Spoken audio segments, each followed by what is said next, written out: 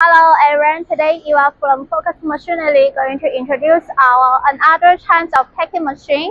Uh, is to pack the hardware in small cases. Really, it's from uh, 1 kg to 7 kg per cases.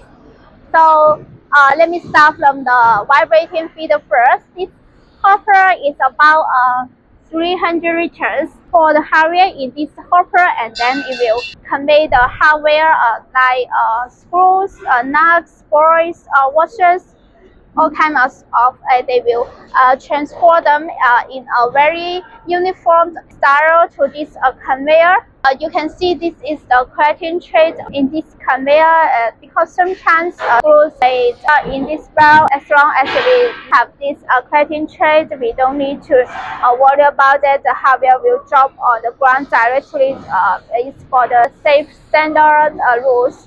And later we came to this multi-hand this wheel has a 14 hands weighing hopper and uh, each hopper is 1.6 uh, liter. So it's for the uh, package from uh, 1 kg to 7 kg per case. Later after the wheel, we came to this uh, filling station. In this station, you can see there are two outlets.